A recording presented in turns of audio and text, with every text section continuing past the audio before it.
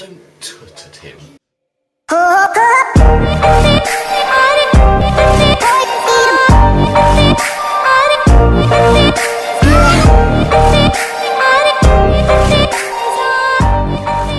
What's going on guys, my name's Alex. Today I'm going to be talking about something, okay, like something that happened in school just about a few days ago. So happened was, I was going to go find my friends that went into a library, you know.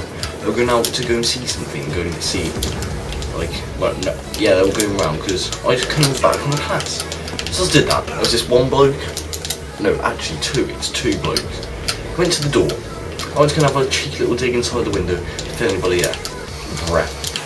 So I went inside to have a look, but they were they were not there. But this is when the friggin' story happened. I went in there.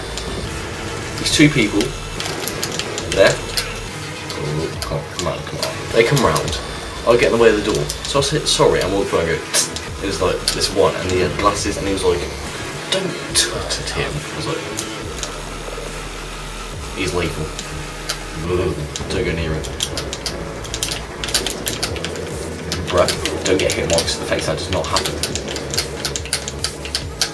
He does that. He's gonna get hit mark? No, he's not, because he's terrible.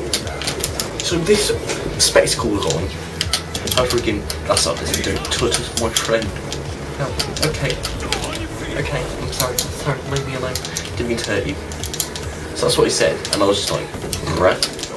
So I thought I was gonna get raped by him. I thought I was gonna get beaten up, you know, because, you know, he's WWE World Champion.